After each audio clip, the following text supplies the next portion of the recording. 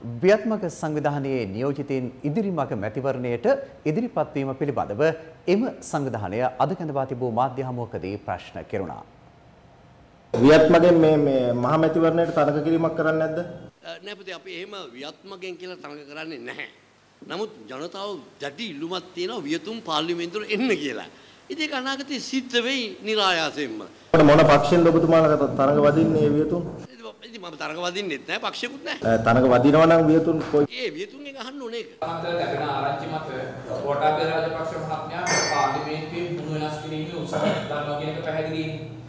ඒ වගේම දේශපාලන වේදිකාව තුළ කතා වෙන කතාවක් තමයි එතුමා සමග වැඩ කරපු වියත්මගේ සංවිධානයේ ඉන්නේ විද්වත් පිරිස පාර්ලිමේන්තුව ගෙනීම සඳහා උත්සාහ දරන මේ කතාව කියනවා. ඔව්.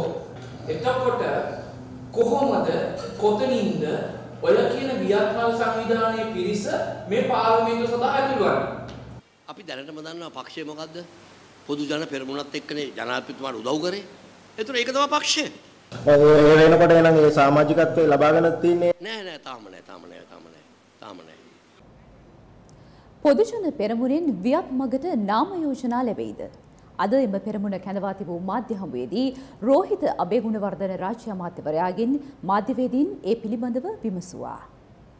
සාමාන්‍යයෙන් පාර්ලිමේන්තු මැතිවරණයකදී අපිට ඒ පාර්ලිමේන්තුව නියෝජනය කළ ඒ සියලුම දෙනාට නැවත අපේක්ෂකත්වය ලබා දීම. ඒ වගේම අපිත් එක්ක ඉන්න සෙසු පක්ෂ ශ්‍රී ලංකා පොදු ජන පෙරමුණ වටා තියෙන සන්දානගත වෙච්ච පක්ෂ.